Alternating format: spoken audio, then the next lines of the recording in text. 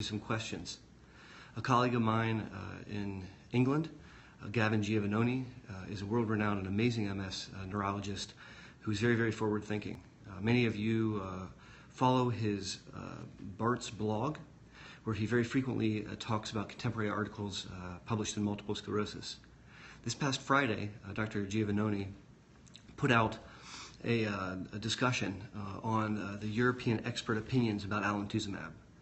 And he makes a couple astute comments, uh, identifying that the authors were probably not able to say uh, their full, unbiased responses, um, and that they were probably limited by multiple factors discussed in his blog. And so he then subsequently says, listen, if I was going to ask questions, real world questions to experts about a drug like alemtuzumab, uh, these are the questions I would ask. And he's listed out uh, multiple questions. Um, I'm going to try to answer those questions from my opinion. I'm not providing uh, medical advice. I'm not uh, quoting data.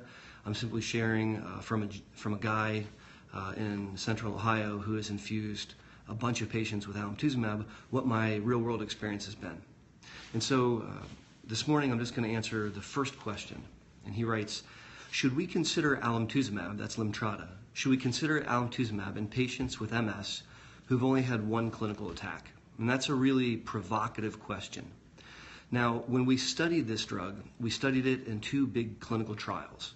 One were for patients that were treatment naive. They had never been on a drug, but they had diagnosed multiple sclerosis, meaning they had had two attacks or they had had an attack and then adequate MRI evidence to prove that they had MS. There was a second trial where people had at least had breakthrough disease on one drug. Now, if you look at that first trial, the CARE-MS 1 trial, this was a population of very young patients and they were very early in their disease process, maybe one step past the people that Dr. Giovannoni is discussing.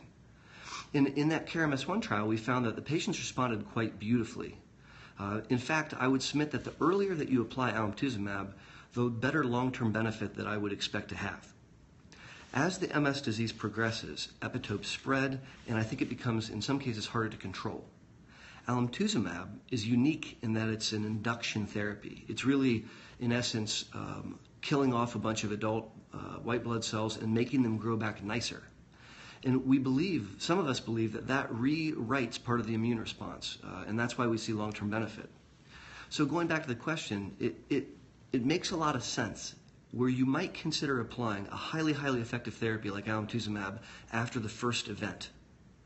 And that's something that uh, we're not able to do uh, in the United States because of the way the FDA has written the label.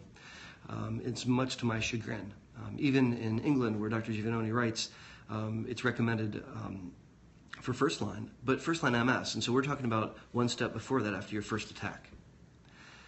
If I had a patient who, after their first attack, had multiple significant bad prognostic indicators, I would be very inclined to consider alemtuzumab if regulatories were such that I was able to.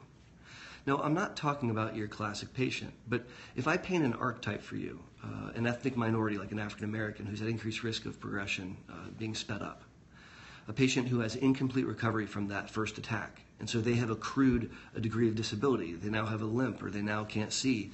Um, and when we examine them, their disability scale has actually increased. A patient who presents with multiple symptoms, so maybe their vision and their speaking and their arm, as opposed to one event. A patient who presents with spinal cord involvement, uh, with motor involvement or, or cerebellar, you know, coordination involvement. These are all bad prognostic factors. If the original MRI, the first MRI that we get, has a bunch of white spots, a heavy burden of disease, or if there's constant con contrast enhancement, these are all uh, pieces of evidence that might suggest that this one individual is at much higher likelihood of going on to develop very significant MS.